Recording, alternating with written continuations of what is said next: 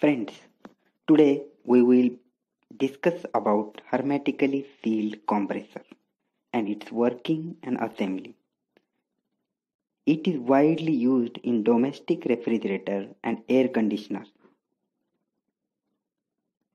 This is the upper cell and this is the lower cell of the compressor. Both are made of steel and welded here. Inside the cell, both compressor and motor are directly coupled on same shaft.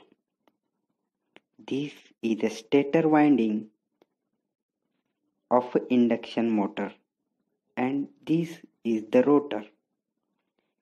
Electric connections are taken out from stator winding.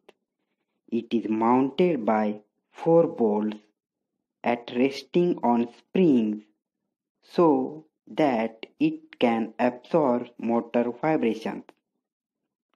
This is the crankshaft and it is directly connected to the rotor.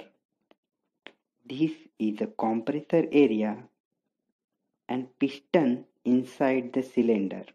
This, this is called cylinder head. It is connected to crankshaft by connecting rod.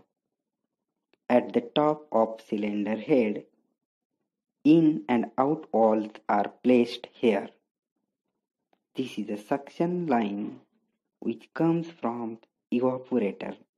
It is being routed around the electrical winding and then connected to the suction port as the suction line is having low pressure and low temperature it helps in cooling the winding